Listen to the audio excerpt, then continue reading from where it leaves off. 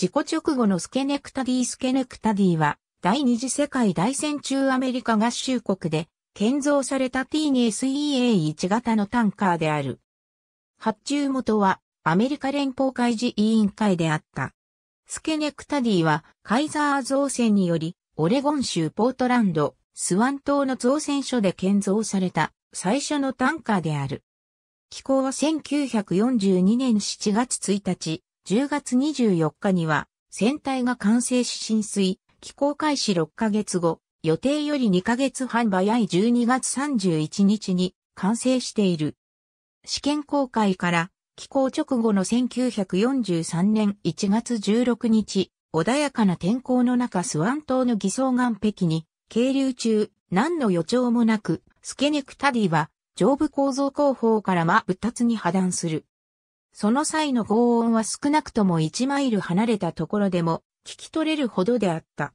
船体に入った亀裂は、両舷からキールに迫り、船体は水上へ弓なりに折れ曲がって船尾は川底へ沈下し、船底後半のみ原型を止めていた。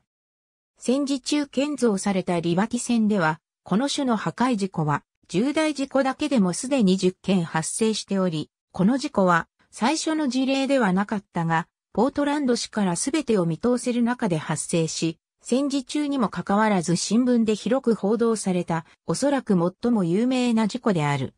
当時はまだ破壊力学が未発達であり、破断の要因についても解明されていなかった。沿岸警備隊の報告では溶接ミスによる欠陥に起因するとされた一方、調査委員会では様々な要因、応力集中、環境の急激な変化、設計の欠陥などが検討された。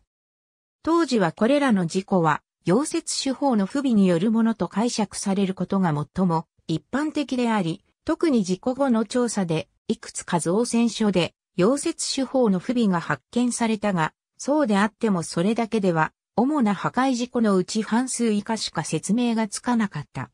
後の調査で、事故原因はおそらく低急行で引き起こされる脆性、破壊である可能性が示された。低急行は極度に低温脆性を示し、血管を増幅し脆性破壊を引き起こしやすかった。リバティ船事故の発生と得られた知見にあるように、この事故を教訓として研究、改良が行われ、その後の溶接構造船体の普及に貢献した。スケネクタディは修復され、1943年4月に軍務に就く。正確な運行記録は不明だが、1944年6月10日にカリフォルニアから石油タンカーとして航行している。次の年には、オーストラリア、ペルシャ湾、ニュージーランド、マーシャル諸島、キュラソー島へ航海し、カロリン諸島、アドミラルティ諸島、ウルシー干渉からパナマ運河を経由して1945年5月20日にサンペドロに寄港している。スケネクタディはマーシャル諸島及びウルシー干渉の戦闘にも参加した。